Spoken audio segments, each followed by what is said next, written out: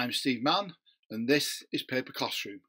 Welcome to another one of our tutorial videos. This is the first in the section on wet end processes and here we're going to talk about the learning outcomes, what you are expected to know at the end of this module.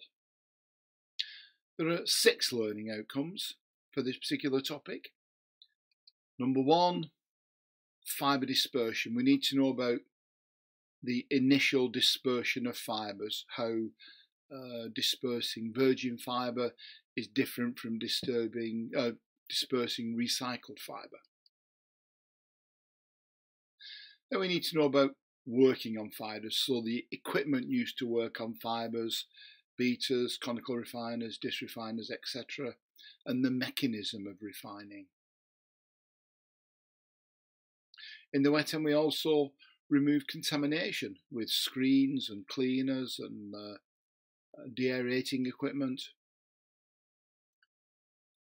In the wet end, we also measure flow and consistency and control flow and consistency. And we need to know about the flow box and the evolution of the flow box. And finally, the Fourdrinier table.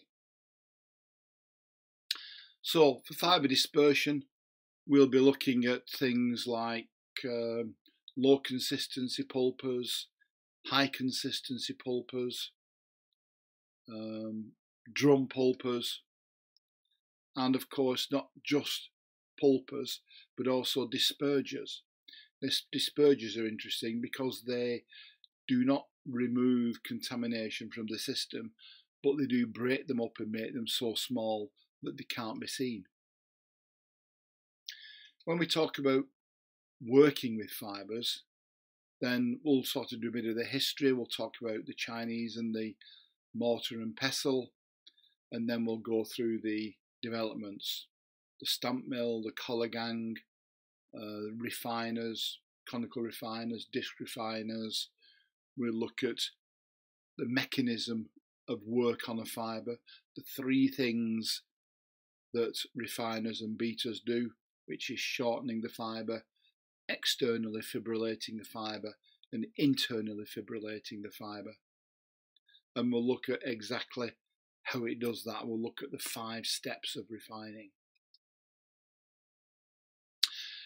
Then at the wet end, we also remove contamination. And you can either remove contamination because of its size, it's a different size to a fibre. So for that, we use screens. For the contamination that's the same size as the fibre, we need to do something different. So we use the density most contamination is more dense than a fibre, but things like polystyrene are less dense than a fibre. So we use these difference in densities in these cleaners to uh, separate the good from the bad. The tiniest of all contamination, of course, is ink particles. So we'll have a look about the de-inking process and the de-inking cells. And one of my particular hobby horses is air in stock. So we'll look at the deculator and the ways of removing air from stock.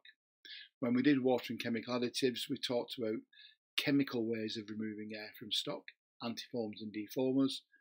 The deculator is a mechanical way of removing air from stock.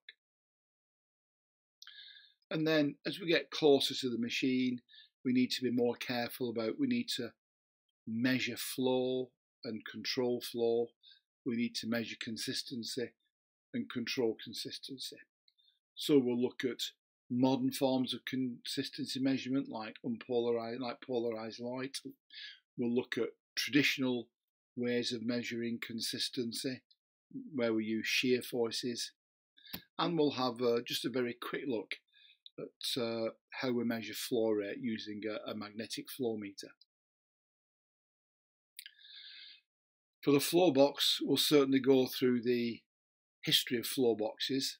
We'll start with the fan pump that pushes stock forward towards the flow box. We'll look at the manifolds and then we'll look at the evolution of the flow box from the open flow box to the pressurized flow box to the um, final outlook, final view of the flow box, the uh, hydraulic flow box. And the last thing we'll talk about is the Fourdrinier table itself. So we'll look at the four zones, the blending zone, the formation zone, the transition zone, and finally the high vacuum zone. We'll look at the equipment underneath the wire for removing water. We'll look at table rolls, foils, vacuum foils, uh, low vac boxes, high vac boxes. We'll look at the very last point where you can, you can remove with uh, with vacuum, which is the couch roll, of course. But again, not all mills have a vacuum couch roll. Some mills do have a solid couch roll.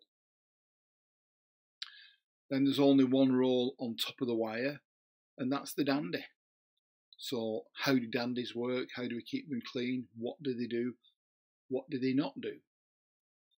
And then, of course, if we're talking about the uh, the wet end and the wire, we need to talk about the weaves, the different uh, materials of construction of forming fabrics, and the different weaves that we have for forming fabrics.